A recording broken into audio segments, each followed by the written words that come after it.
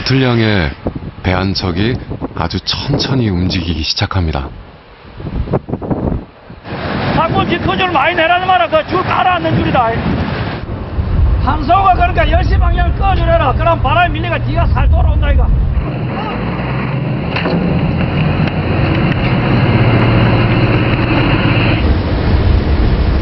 모든 동력이 차단된 배.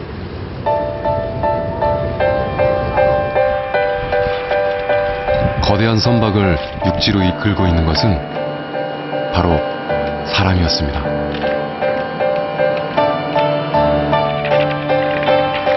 (3,500톤) 선박과의 힘겨운 줄다리기 끝에 배는 마침내 무트로 올라옵니다. 배 올리는 게 쉬운 게 아니네요. 아, 보통 일이 아니지. 주, 준비 과정이 엄청 걸립니다. 준비 과정이 한, 한 5시간, 4시간 이래 걸립니다. 낡은 배의 수명을 연장시키고 상처 입은 배를 치유해주는 것.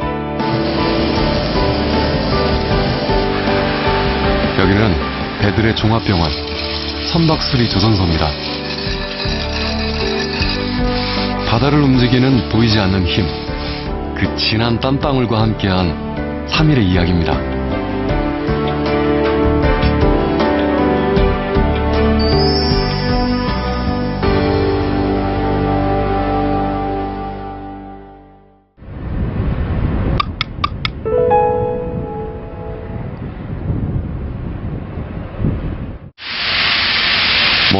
바다를 항해하다가 5년 만에 수리조선소를 찾은 원양어선.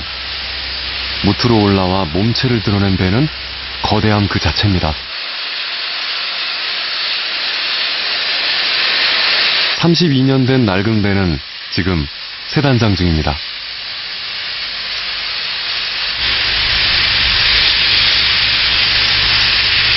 지금 어떤 작업 하시는 거예요? 아주 이제 이거 페인트, 오래된 페인트를 벗겨내고 새 페인트를 칠해야 되니까네. 부산에 있는 이전 페인트하고 녹하고 이거 제거하는 작업입니다. 오늘로 수리 20일째를 맞은 배. 모래를 분사해서 낡은 페인트를 벗겨내는 작업만 해도 닷새나 걸린다는군요.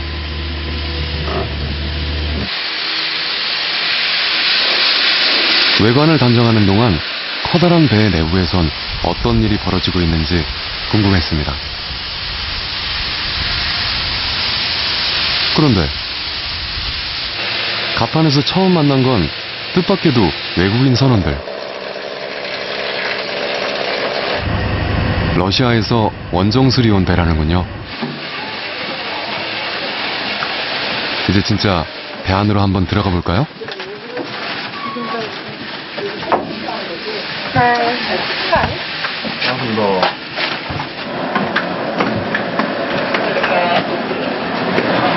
뭐 차로 치면 본네트 열고 이게 그 안쪽으로 들어간다. 뭐 이런 식으로 이게 엔진이 있고 뭐 주요 부품들이 있는 그런 위치거든요.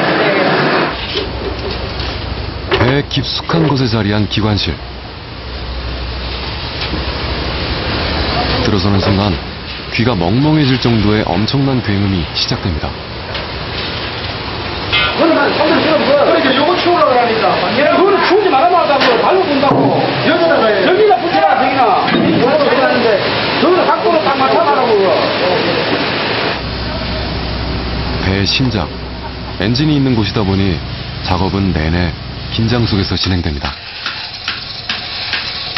이배한 척을 고치는 데 동원된 인력은 무려 100여 명. 대부분 50을 훌쩍 넘긴 어르신들입니다. 평생 배를 고치며 살아온 분들이죠. 경력 보고 오래된 사람은 한 30, 한 50년 됐고. 못된 사람은 20년, 30년 다 그래도. 복잡한 작업장 어딘가에선 끊임없이 수리공들이 나타납니다.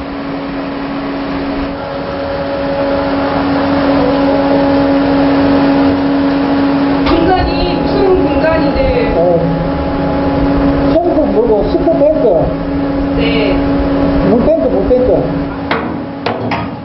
바람 한 점 통하지 않는 어둠 속의 물탱크.